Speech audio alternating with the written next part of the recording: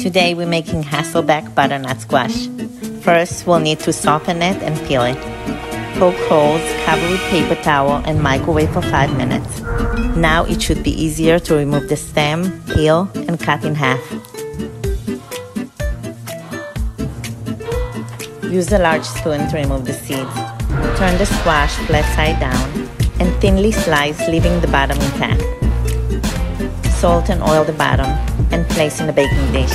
Season the top with oil, garlic powder, salt, pepper, and dried herbs. Bake on 400 for 30 minutes. Reapply the seasoning in the oil and boil for another 5 minutes. A bit of a work to peel the butternut squash, but so worth it. Dig in. I live in my kitchen, but you don't have to.